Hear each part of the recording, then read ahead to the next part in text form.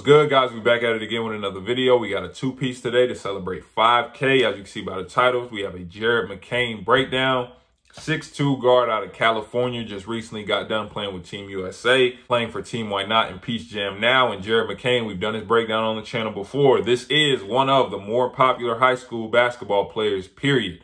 Out of everybody, and a lot of that popularity is because if you didn't know, he's on TikTok, dancing, doing this, this, and that and I've said in my older video, it might not be something that I would do or, you know, some of my teammates would have done around that same time. But I also said, and a lot of players need to understand this, if you're going to do, you know, the external, the stuff off the court, Draymond Green has kind of been struggling with this too. I mean, at least before he won the championship, people were talking about his podcast, right? You can do whatever you want off the court, things like that. But when you step on that court, when you step on that court 94 feet, you have to produce because if you don't, everyone is only going to say, oh, you know, all your attention is on that other thing. You need to be in the gym. When you're making TikToks, you need to be in the gym with Draymond. Instead of doing a podcast, you need to be in the gym.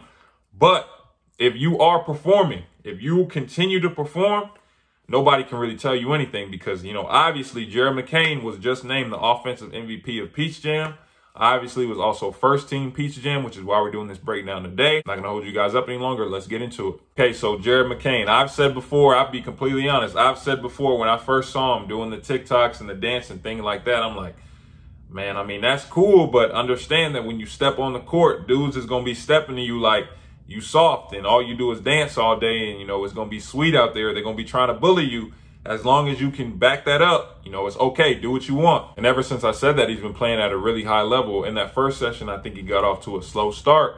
But since then, been killing. Just got done with Team USA. Now bring it to Peach Jam, and you average 23 and 8. And I was there. I wanted to see what the hype was about, you know, EYBL modern time, Peach Jam modern time, because I remember when I was playing, but I wanted to see what it looked like now.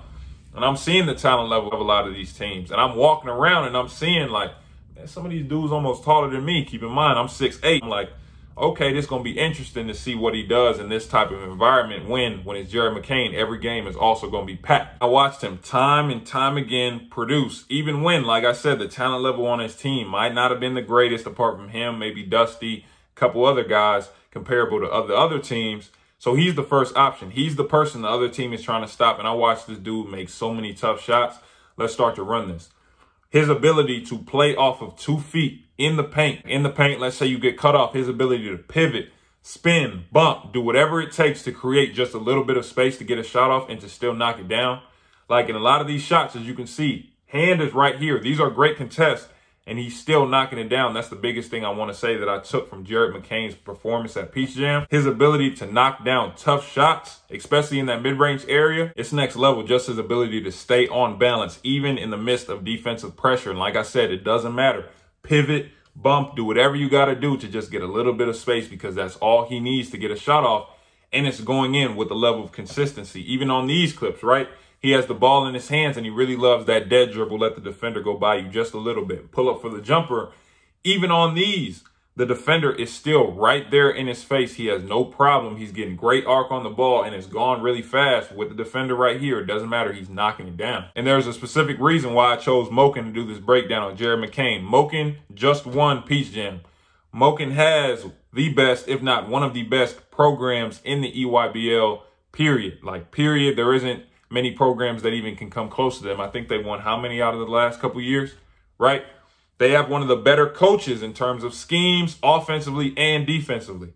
So for him to put up 31, granted they did lose, right? Like I said, the talent level on their team isn't, you know, comparable to some of the other ones. But for him to still be able to produce as a number one option when everyone else on your team isn't performing or isn't making shots, and I'm still watching you knock down tough shots, play after play after play, not quitting at all continuing, even when you're coming from behind, still continuing to put pressure on the defense, trying to get shots up, trying to get your team back in the game. I have a lot of respect for him. In terms of going downhill, attacking the paint, if you guys haven't noticed, he doesn't really create a lot of separation off the bounce. So it's not going da-da, and then the defender's all the way over here and he can get downhill. Or even when he does attack the paint, it's not like he's going to jump up and elevate and really like punch on somebody, really go over someone. No, but again, I want you guys to notice he isn't the quickest or the fastest, but he knows how to play off of two feet. So when he gets in the paint, as I'm showing you, when he does get cut off, again, he understands how to pivot, spin, get around his defender who will you know, end up fouling him so he can get to the line and he does make his free throws. He does show good instincts around the rim. As you can see here, he's going in the paint against one of the tallest players that they even have in the EYBL. And he has the smarts to be able to use that inside hand, to get it up there in time so he can finish that layup. Like I said, there isn't a whole lot of, oh, I'm just going to put my head down and get to the rim. But when he does decide to get downhill, he can stop on a dime. He's not going too fast. He's playing at his own pace. So when he stops, he's on balance and he can shoot it from here. He can spin around and shoot it. He can pivot a little bit and shoot it. He has a plethora of decisions that he can make. He can shoot it. He can pass it. He just has a whole lot of options because he plays off of two feet. His shot doesn't just extend to 15 to 17 feet. No, he can knock down threes as well. As you can see, it's the same exact shot though.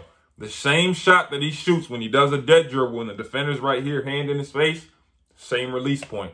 The same shot that when he drives by somebody and has to stop on two and spin back and shoot a fadeaway, it's the same release point, the same shot when he's wide open from three, when he's deep from three. He can shoot. Jared McCain can shoot the ball, whether there's a hand there or not. His shot is consistent. That's another big thing I want to say.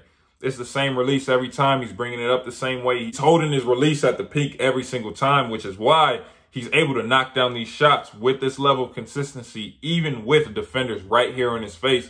Another player who's making mid ranges at this level is Isaiah Elohim, a younger player in 2024. Obviously, they're not creating shots the same way, but in terms of the tough shot making from the mid range, big time. Like I said, he averaged 24 and 8, so he did a great job on the glass throughout the entire Peach Jam, just doing what his team needed him to do to win. It was obvious for him on this team, his role was to take shots and to make shots and to hunt for his shots.